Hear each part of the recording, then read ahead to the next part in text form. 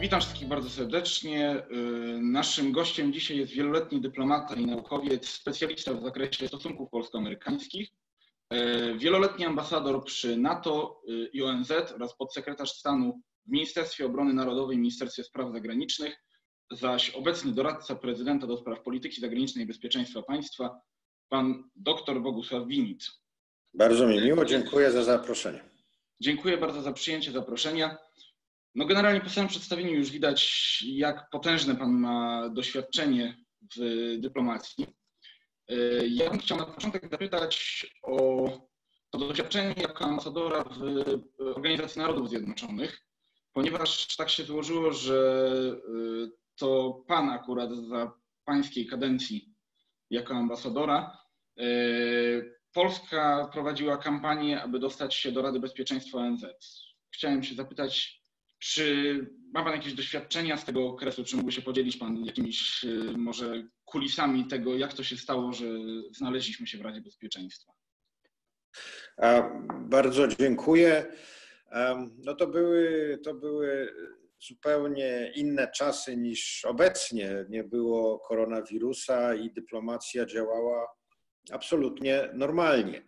E, wybory do Rady Bezpieczeństwa są bardzo specyficzne, to znaczy e, wybory do wszystkich organizacji międzynarodowych są e, różne i żeby odnieść w nich sukces, trzeba dosyć dobrze czy bardzo dobrze zdefiniować, kto głosuje, jak głosuje i dlaczego głosuje.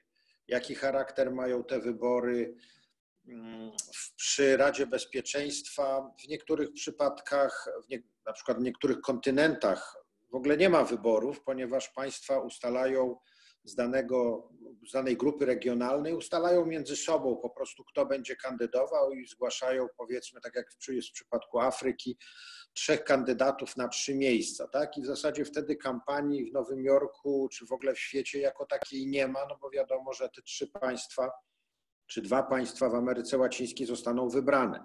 Prawdziwa kampania i prawdziwa rywalizacja jest wtedy, kiedy oczywiście jest więcej kandydatów niż miejsc. I to się najczęściej zdarza albo w państwach Europy Zachodniej, albo w państwach Europy Środkowej i Wschodniej, albo w państwach Azji. Z reguły Afryka zawsze ustala przedtem. Tak, przypomnijmy może, jeśli ktoś by nie wiedział, że do Rady Bezpieczeństwa kraje są wybierane tak. według współczynnika terytorialnego konkretnych tak jest. Tak jest. regionów. Tak, przepraszam, nie powiedziałem tego wcześniej. E, cały ONZ jest podzielony na pięć grup regionalnych, e, żeby zapewnić po prostu e, równomierną reprezentację całego świata w Radzie Bezpieczeństwa. I Polska w zasadzie od samego początku należy do grupy wschodnioeuropejskiej to jest historia no, od 40 lat.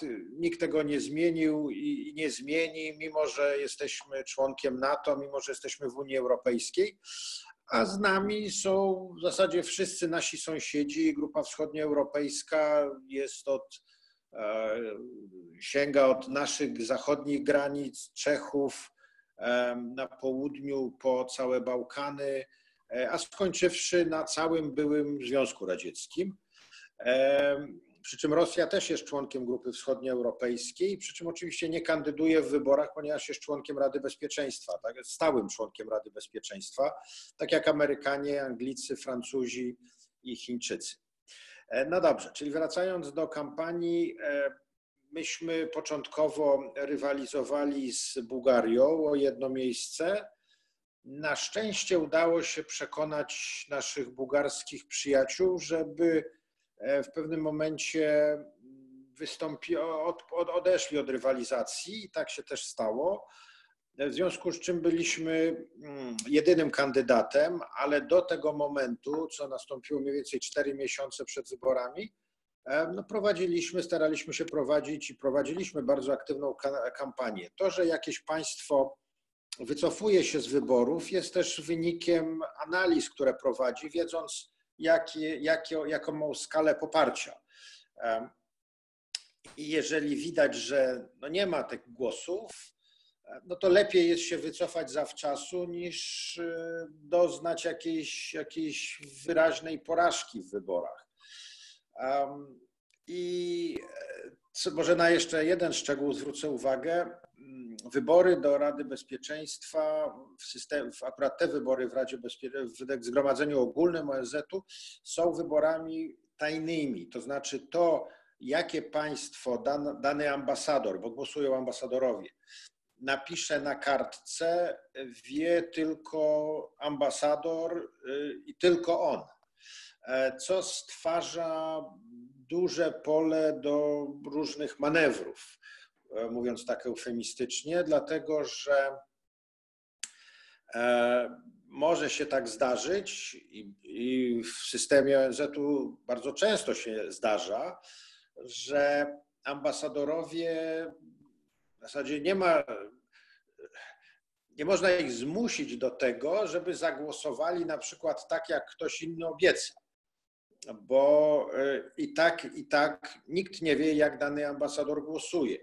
E, to oczywiście wygląda bardzo różnie w różnych państwach, natomiast no, trzeba, e, trzeba, trzeba mm, wiedzieć, jak, jak jaki jest ten ostateczny cykl decyzji i ostateczny, ostateczny system, żeby dany ambasador obecny w danym dniu wpisał nazwę kraju, który, który w tym wypadku to była Polska.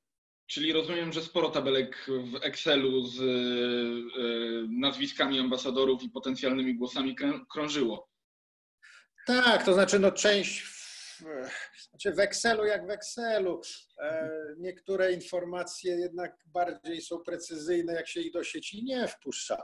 E, no, ale jest kartka, pióro, tabelka, linijka, można sobie, można sobie kombinować, a wtedy wiemy, że no każdy marzy, żeby dostać takiego Excela, zwłaszcza jeżeli jest zaangażowany w bardzo dynamiczną kampanię. W tym momencie, jak, jak teraz rozmawiamy, e, mają na czerwiec, na początek czerwca zaplanowane są kolejne wybory do Rady Bezpieczeństwa, bardzo ciekawe wybory w grupie zachodnioeuropejskiej. Tylko nikt nie wie, czy te wybory się odbędą, no bo do tego musi się zebrać cała, całe zgromadzenie ogólne, no więc to jest cała sala ludzi, więc nie wiadomo w ogóle, czy te wybory będą. Znaczy będą, ale nie wiadomo kiedy będą. To jest rywalizacja między Norwegią e, Irlandią i Kanadą o dwa miejsca w grupie zachodnioeuropejskiej, czyli ktoś z tych dużych państw te wybory przegra. To jest taka najnowsza, bardzo ciekawa rywalizacja między trzema dużymi państwami. E, w momencie, kiedy myśmy kandydowali, czy przed naszą kandyda, kandydaturą też w Europie Zachodniej, była taka bardzo duża rywalizacja Szwecji, e, Holandii i Włoch. W Azji była bardzo ciekawa rywalizacja między Tajlandią a Kazachstanem. Także to jest bardzo, bardzo ciekawy element życia ONZ. Rozumiem, że y, taka kampania jest prowadzona dość przyjaźnie. W sensie nie ma tam jakiejś bardzo, bardzo zagorzałej walki, powiedzmy, że tak się kolokwialnie wyrażę na morze. Znaczy nie, no, kampanię, trzeba prowadzić kampanię pozytywną. E, w zasadzie no ale oczywiście im. E, e, znaczy inaczej jest też kampania wygląda, jeżeli nie ma się przeciwnika, a i, i chodzi tylko o zdobycie wymaganej dwóch trzecich głosów, czyli powiedzmy 129 głosów, a inaczej prowadzi się kampanię, jeżeli jest bardzo zdeterminowany przeciwnik. W naszej grupie taką kampanią przed, przed rokiem czy przed półtora roku była rywalizacja Estonii z Rumunią, którzy na, kto nas zastąpi. I tą rywalizację wygrali Estończycy. Dziękuję bardzo. A y, tak jak jesteśmy przy kampaniach, to y, zaraz po y, Radzie Bezpieczeństwa zostaliśmy wybrani do kolejnego organu, czyli do Rady Praw Człowieka ONZ i chciałem się zapytać, czy y, może nam Pan coś opowiedzieć o tym, jakie obszary działalności Polska chciałaby y, przede wszystkim poruszać w Radzie Praw Człowieka? Co, co jest takim naszym długoterminowym znaczy, planem? Y, ja się tym już bezpośrednio nie zajmowałem, natomiast no teraz prace są sparaliżowane przez koronawirus. Także w zasadzie cały ONZ y, w tych głównych siedzibach jest zamrożony do końca maja e, i część spotkań odbywa się w formule wirtualnej, część spotkań odbywa się właśnie wykorzystując te różne kanały.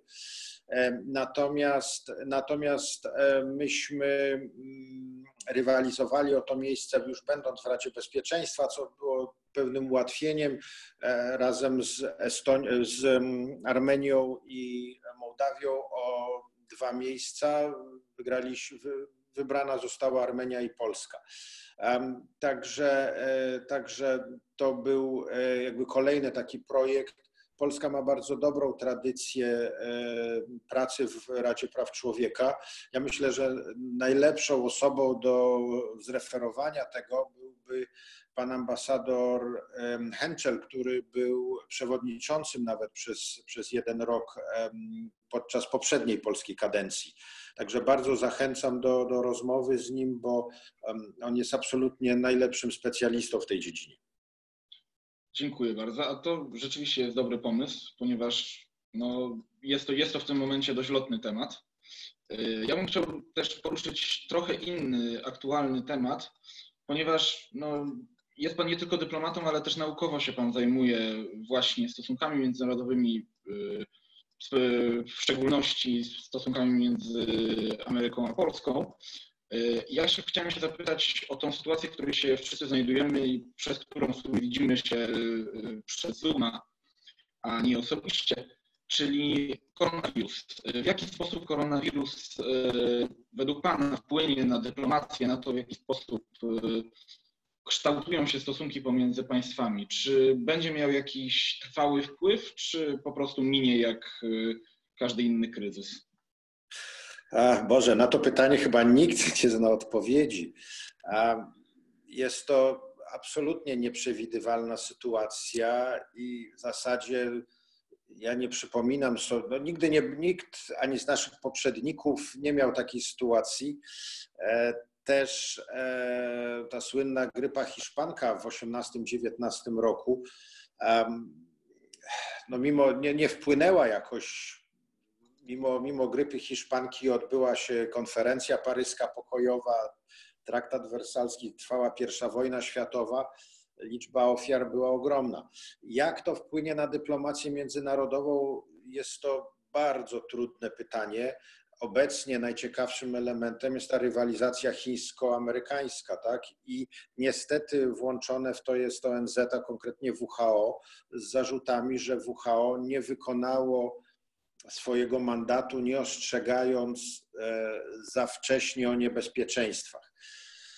Jest to bardzo dyskusyjna kwestia i tutaj to nie jest taki obraz czarno-biały. To nie można powiedzieć, tutaj są błędy i po stronie WHO, ale też są, trzeba wiedzieć, co WHO może, tak?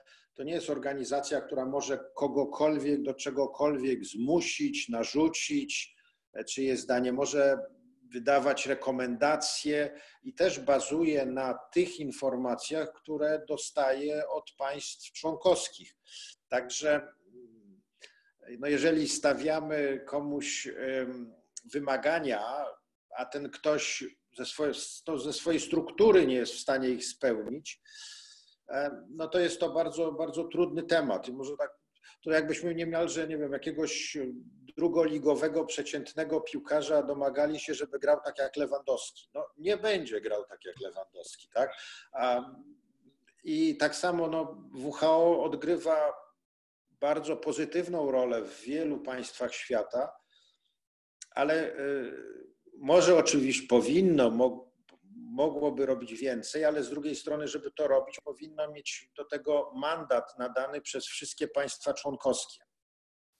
I może jeszcze jeden element, tak jak w całym ONZ-cie, też w WHO państwa, które są stałymi członkami Rady Bezpieczeństwa, czyli P5, wszyscy są równi, ale P5 jest bardziej równy od innych. I oczekiwanie, że jakakolwiek organizacja międzynarodowa systemu ONZ skrytykuje któreś z państw P5, no też jest to bardzo, no to się nie zdarza po prostu. Także to jest, ten obraz nie jest czarno-biały, to jest obraz pełen szarości i co się z tego wyłoni, nikt nie wie. Dziękuję. Ja chciałem jeszcze y, się odnieść do tego niezwykłego doświadczenia, które Pan ma w, y, jako ambasador przy organizacjach międzynarodowych, ponieważ reprezentował nas Pan przy ONZ y, oraz przy NATO. Ja chciałem się zapytać, czy może Pan powiedzieć, jak, jaką, jaka jest specyfika pracy przy organizacjach międzynarodowych? Czy to się jakoś znacznie różni od reprezentowania państwa przy innym państwie, czy jest to mniej więcej podobne? Nie, to różnic jest bardzo dużo. E, przede wszystkim e, inny jest krąg osób, z którymi się pracuje, e, bo tak jak w ambasadzie bilateralnej jest to rząd państwa, którym reprezentuje się, dajmy na to Polskę, oraz społeczeństwo tego państwa. Przy organizacjach międzynarodowych są jakby takie z olbrzymim uproszczeniem, to jakby takie dwie grupy. Jedna grupa to są dyplomaci innych państw. Halo, coś mi przerywa. E, nie, słychać, słychać, wszystko słychać. Przez chwilę obrazem. Mnie się, mnie się niestety złośliwie telefon rozładowuje. E, także jeżeli się rozładuje, to będziemy musieli dokończyć za mniej więcej półtorej godziny. E, co chciałem powiedzieć, to to, że są jakby takie inne grupy odniesienia, bo z jednej strony są to inni ambasadorowie i dyplomaci innych państw akredytowanych w danej organizacji międzynarodowej, a z drugiej są to wszyscy pracownicy i ten aparat biurokratyczny danej organizacji, co też jest bardzo istotne, bo um, sekretariaty, cała biurokracja organizacji międzynarodowych no, odgrywa bardzo dużą rolę w ich funkcjonowaniu i właściwe, dobre kontakty z nimi zapewniają też y, możliwość realizacji tych postulatów, które są istotne dla kraju, dla nas w tym przypadku.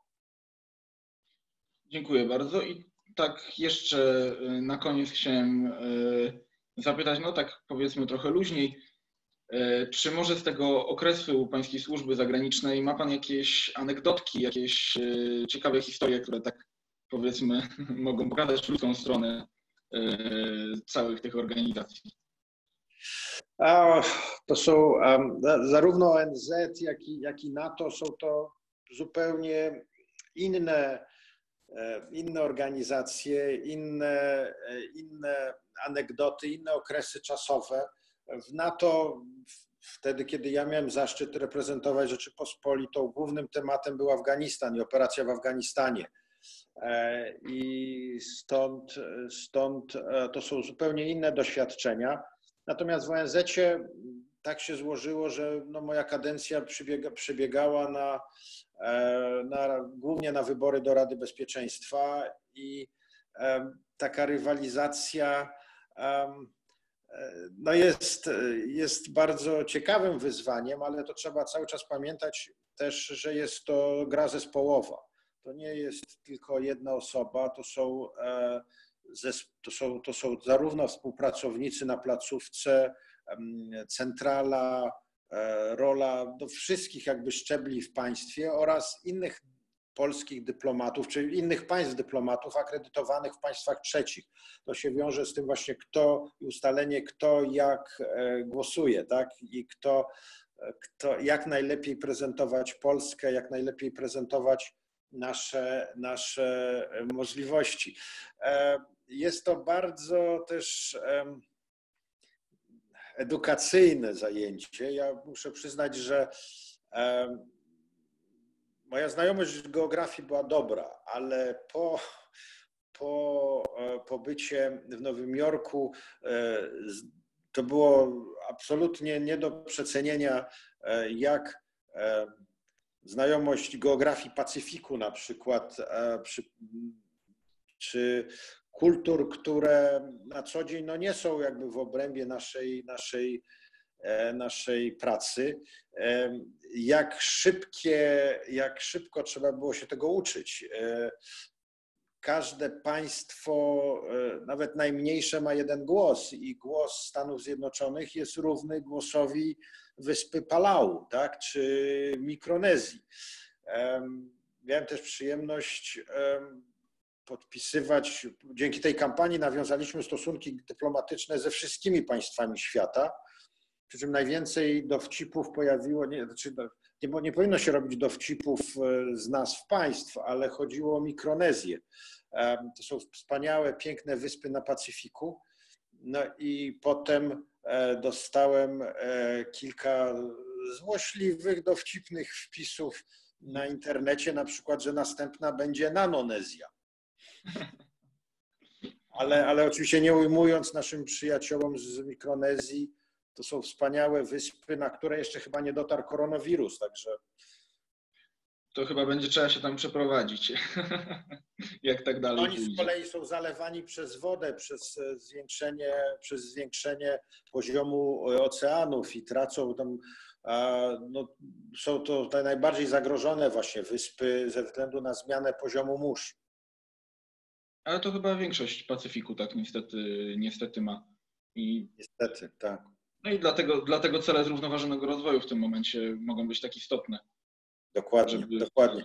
uratować te głosy w ONZ. Z naszej, z naszej perspektywy tego nie widać, ale ja też nie zdawałem sobie z tego sprawy, że takim zagrożeniem dla tych wysp są te olbrzymie wyspy, pływające wyspy śmieci, e, które to są e, całe kilometry kwadratowe śmieci zerwanych sieci, które te zerwane sieci po połączeniu ze śmieciami plastikowymi powodują, że na przykład e, załamuje się rynek e, rybaków z tych wysp, co jest ich tradycyjnym zajęciem od, w zasadzie od początku ich istnienia. Nagle się okazuje, że przypływa jakaś gigantyczna wyspa śmieci i nie ma, nie ma jak łowić ryb. To są no, tematy, które może dla nas odległe, ale bardzo istotne dla mieszkańców tych, tych obszarów. Znaczy, wydaje mi się, że nie są to nigdy do końca odległe e, tematy. No, jednak w, w naszym środowisku wszystko, wszystko na siebie wpływa. Między innymi właśnie wyspy śmieci, brak ryb w Mikronezji na pewno może w jakiś sposób wpłynąć na nas tutaj w Polsce.